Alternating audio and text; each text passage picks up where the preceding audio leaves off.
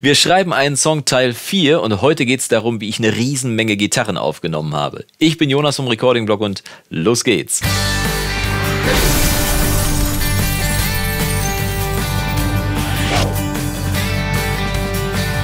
Tag und schön, dass du wieder eingeschaltet hast zu einem weiteren Video im Recording-Blog. Und heute geht es darum, bei Wir schreiben einen Song, dass wir die Gitarren hinzufügen zu unserem Song. Nachdem wir in den letzten Wochen ja schon einiges aufgenommen haben, eine Pilotspur, ein echtes Schlagzeug und den Bass, falls du das verpasst haben solltest, kannst du mal hier oben klicken, da auf den Link, der gerade aufgeht. Da ist alles verlinkt, da findest du die anderen Videos. Also nachdem wir das Fundament gelegt haben, geht es jetzt darum, aus unserem Song einen echten Song zu machen. Also einen echten Song mit echten Gitarren. Denn wir haben einen Rocksong hier als Basis, zumindest habe ich mir überlegt, dass es ein Rocksong ist und das soll es dann ja auch werden.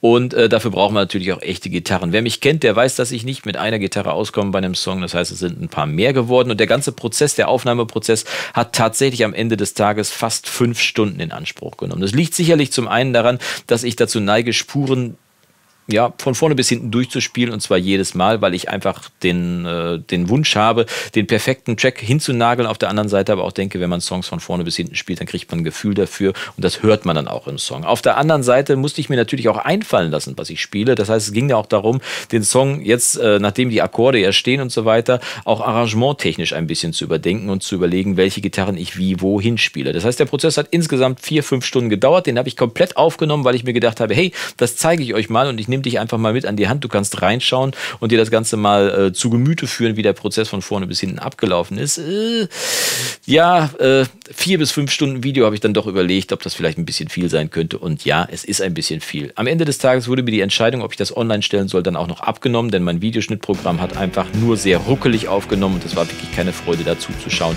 Deswegen werde ich dir den Prozess jetzt gleich einfach mal erklären. Es gab zwei Entscheidungen zu fällen. Einmal welcher Sound und Zweitens, welche Gitarre? Da ich mehrere Gitarren aufgenommen habe, habe ich mich auch für mehrere Gitarren entschieden. Bei dem Sound habe ich lange überlegt, ob ich das mit meinen echten Amps hier aufnehmen soll und habe mich am Ende des Tages dann doch dagegen entschieden und äh, mich aber auch gegen ein Software-Amp entschieden, sondern für meinen, naja, für meinen Hybrid nenne ich ihn mal, für meinen Profiling-Amp, den Camper entschieden.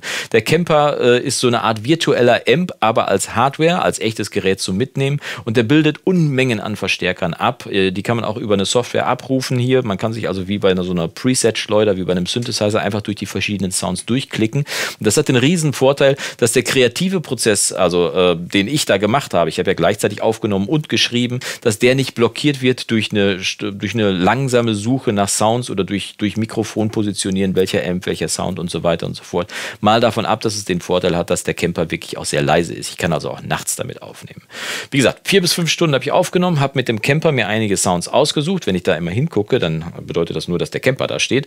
Ähm, und äh, dann ging es darum, welche Gitarren ich nehme, welche das genau gewesen sind. Das erkläre ich dir jetzt gleich mal. Ich habe angefangen, ja, äh, erstmal die Pilotspur nochmal richtig einzuspielen. Und das war, glaube ich, auch irgendwie der längste Prozess, denn ich wollte es richtig machen. Und wie gesagt, ich spiele von vorne bis hinten durch. Das heißt, ich habe wirklich ganz, ganz viele Versuche gebraucht, um wirklich vernünftige Spuren einzuspielen und die wirklich mit dem richtigen, mit der richtigen Power, mit dem richtigen Feeling einzuspielen. Eingespielt habe ich die genau wie die Pilotspur mit meiner Tele. Und wenn ich aufnehme, dann fange ich als erstes mal an. Ich fange an mit, richtig, Stimmen. Nachdem ich dann gestimmt habe, habe ich die Pilotspur erstmal richtig eingespielt und weil mir das gut gelungen ist, habe ich dann gedacht, komm, dann machst du das direkt mal doppelt, dann hast du das nämlich und dadurch habe ich ein richtig schön breites Stereobild gekriegt, eine fette Rockgitarre, die links und rechts auch mit dem gleichen Sound, mit der gleichen Gitarre eingespielt ist. Das gibt ein richtig breites, schönes Stereobild und nachdem ich das gemacht, gemacht habe, nachdem ich das gemacht habe, äh, habe ich mir dann erstmal eine andere Gitarre genommen und mich von der inspirieren lassen, andere Sachen einzuspielen. Bevor ich aber mit der eingespielt habe, habe ich erstmal richtig gestimmt. Wie du vielleicht gesehen hast, handelt es sich bei der Gitarre um eine Strat-Kopie, um eine Music Man Silhouette und äh, diese wurde ja von äh, Leo Fender original konzipiert, also vom Erfinder der Stratocaster und die klingt tatsächlich strattiger als jede Strat, die ich sonst in der Hand gehabt habe. Deswegen mag ich sie auch. Ich habe damit einige Einwürfe gespielt, habe mir also einen Sound im, äh, im Camper gesucht, habe die Gitarre gestimmt und habe dann einige Einwürfe eingespielt ähm, und die musste ich mir erstmal einfallen lassen. Das heißt, auch der Prozess hat einiges gedauert. Nachdem ich damit fertig war, habe ich erstmal richtig die Gitarre gewechselt und zwar auf eine Gretsch Malcolm Young Signature Gitarre. Wundervolles Instrument, mit der hat Malcolm, also nicht mit dieser, aber mit diesem Modell hat Malcolm Young unendliche Touren und äh, Alben von ACDC eingespielt, weil ich ein riesen Fan von Malcolm bin.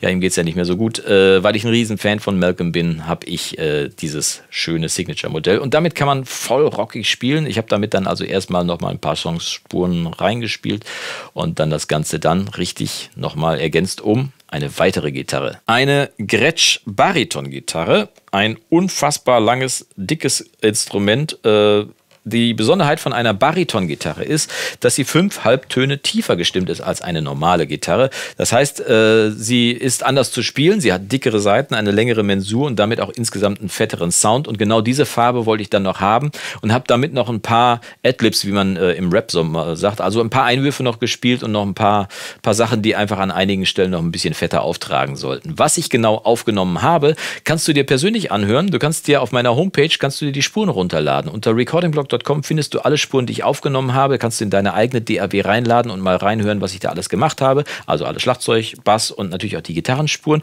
Und falls du Studio One Besitzer sein solltest, kannst du dir sogar die komplette Session darunter laden. Also unter recordingblog.com, guck einfach in den Artikel rein, lad dir die Spuren runter und spiel damit rum. Und vielleicht hast du ja noch eine Inspiration, dass dir vielleicht auch noch eine coole Gitarrenspur einfällt oder irgendwas anderes, was du mir dann vielleicht zuschicken könntest. Wenn du eine Idee hast, schick sie mir einfach an jonas at recording-blog.com, einfach ein MP3 zu schicken und vielleicht ist ja eine coole Spur bei die wir noch in den Song einbauen können. Wer weiß, vielleicht bist du dann auch schon bald in dem Song dabei. So.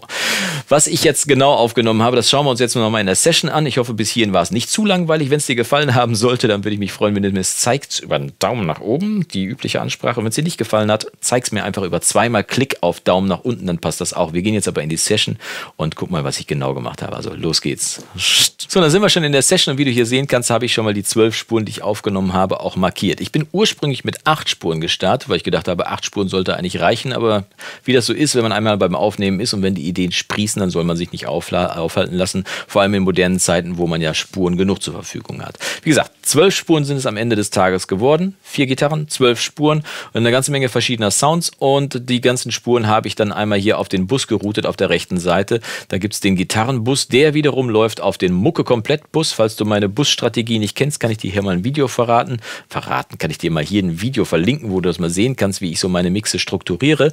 Und ähm, wie gesagt, dieser Mucke-Komplettbus, der läuft dann eigentlich auf den Hauptbus auf der rechten Seite. Das nur am Rande. Wie gesagt, alle Gitarren laufen auf dem Gitarrenbus zusammen. Und wir schauen jetzt einfach mal rein, was ich aufgenommen habe. Wie gesagt, als erstes habe ich die Pilotspur nochmal aufgenommen und äh, speziell gedoppelt. Und dabei rausgekommen ist folgendes.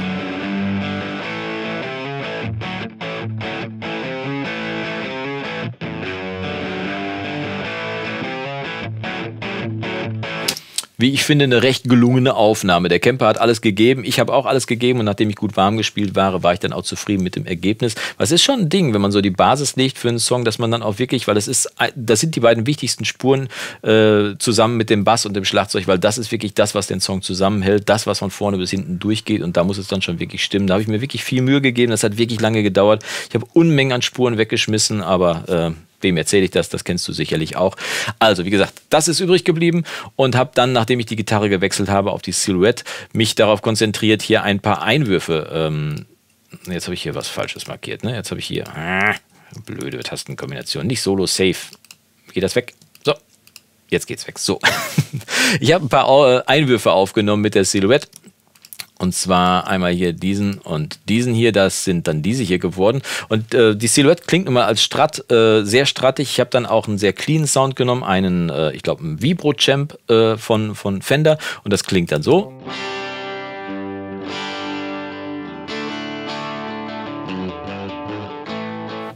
Ne? Und man kann schon sehen und man kann es auch hören, dass ich hier wirklich nur Einwürfe gemacht habe, die unterstützen sollen. Das heißt, ich versuche die Dynamik da ein bisschen zu stützen an dieser Stelle, aber nicht zu viel zu spielen, damit das ganze Ding nicht von vorne bis hinten durchrappelt. Ich habe natürlich viel zu viel aufgenommen, das ist völlig klar. Wie du hier sehen kannst, ist hier Unmengen an Zeugs, aber das werde ich am Ende des Tages nicht alles benutzen. Ich habe es nur einfach aufgenommen, um es schon mal zu haben, falls ich es dann später gebrauchen kann oder nicht. Das werde ich dann im Arrangement später noch herausfinden und im Mix, aber ich habe es schon mal aufgenommen. Aber bei einigen Sachen weiß ich von vornherein, dass das nur unterstützt unterstützend sein soll. Und dementsprechend habe ich dann die Silhouette so aufgenommen. Hier am Anfang unterstützt an verschiedenen Stellen, wie du hier sehen kannst, wo die Wellenformen sind. Und im letzten Refrain siehst du, dass ich dann hier noch ein bisschen mehr unterstützt habe. Und am Schluss geht dann die Wellenform volle Pulle durch. Da habe ich dann durchgeknetet, um im letzten Refrain dann wirklich auch nochmal alles zu geben. Da spielen dann aber auch wirklich alle Instrumente volle Pulle durch. So viel zur Silhouette, also zur Strat. Mit der habe ich dann noch äh, einen lustigen kleinen Glitter hier in diese Ruhephase reingespielt. Dieses hier. Kann man ein bisschen lauter machen, warte. Ne, das sollte einfach diese ruhige Phase ein kleines bisschen auflockern, damit es nicht zu leer ist an der Stelle. Und dann habe ich die Gitarre gewechselt, habe ich ja gerade schon gesagt. Wie gesagt, Stimmen nie vergessen. Und habe mit der Gretsch mit der Malcolm Young, die ja eine klassische Rockgitarre ist, erstmal nochmal eine Basis in die Mitte gelegt. Denn bisher hatte ich ja nur links außen und rechts außen aufgenommen. Das heißt, der Mix bestand im Prinzip aus zwei Stereo-Gitarren. Und um das zwischendurch ein bisschen stützen zu können und das Soundbild jetzt nicht nur einfach nur Stereo zu halten, habe ich noch eine Stützgitarre eingespielt, diesmal mit einer anderen Gitarre, damit das auch nochmal ein bisschen fetter klingt, mit der Gretsch und habe dann im Prinzip nochmal die Pilotspur komplett gedoppelt. Das klingt dann mit diesem Sound so.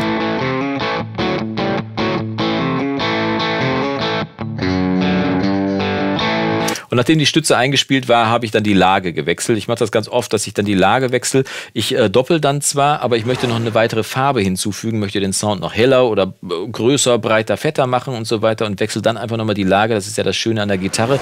Man kann den Akkord ja nicht nur äh, an der einen Stelle, was weiß ich, im fünften Bund spielen. Man, es gibt auch verschiedene Stellen, wo man die Akkorde nochmal spielen kann. Das geht beim Klavier ja auch. Du wechselst dann einfach eine andere Oktave und dann hast du auch einen anderen Song oder du stellst die Reihenfolge deiner Töne um im, äh, äh von deinem Akkord. Dann kriegst du auch eine andere Lage. Das geht hier bei der Gitarre auch und das habe ich dann halt entsprechend auch gemacht. Und die, die Gretsch dann nochmal in einer hohen Lage eingespielt. Deswegen heißt das hier auch Gretsch High links und rechts. Das habe ich dann wieder klassisch gedoppelt. Ich mag ja links und rechts außen und das klingt so.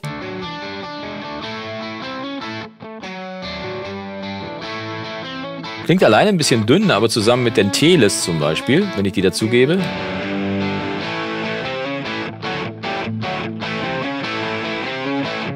die dann am Ende des Tages die ganze Zeit zusammen durchspielen, weiß ich noch nicht, habe ich ja gerade schon gesagt, aber ich hab's zumindest schon mal. So, dann noch ein paar Einwürfe gemacht mit der Gretsch die zwischendurch auch unterstützen sollten. Und dann habe ich die Gitarre gewechselt und bin dann auf die Bariton-Gitarre, auf diese etwas tiefere Klangfarbe gewechselt und habe mit der ein paar äh, auch Einwürfe gemacht, äh, unter anderem dieses hier. Ne? Auch ein rockiger Sound, aber äh, klingt schon insgesamt ein kleines bisschen fetter und sollte dann aber auch nur an einigen Stellen Highlights setzen. Wie man hier sehen kann, sind auch da an der Wellenform zu sehen, dass ich nur partiell gespielt habe und das Ganze nur ein bisschen unterstützt habe, um es ein bisschen fetter zu machen. Da haben wir dann Möglichkeiten, im Mix dann später auch nochmal das genau zu nutzen. Ob das dann auch von vorne bis hinten durchspielt, weiß ich noch nicht. Am Schluss dann mit der Bariton-Gitarre nochmal ein paar verschiedene Highlights hier gesetzt und zwar einmal meine Lieblingsstelle, die muss ich dir unbedingt zeigen. Ich habe sie hier schon markiert. Zoomen wir mal rein. Hier ist nämlich ein Lauf gewesen, der mir eingefallen ist beim Spielen. Das sind so Sachen, die dann passieren. Ne? Wenn ich von vorne bis hinten durchspiele, dann passiert auch mal, dass ich an irgendeiner Stelle einen Lauf spiele und in dem Fall liebe ich mich dann und dann bleibt der dann auch drin. Äh, das war dann dieser Lauf hier. Ich liebe es. Der hat richtig Spaß gemacht. Den habe ich in den anderen Spuren auch gemacht. Das heißt, wenn ich das hier mal komplett abspiele im kompletten Playback, was heißt Playback, im kompletten Rough Mix.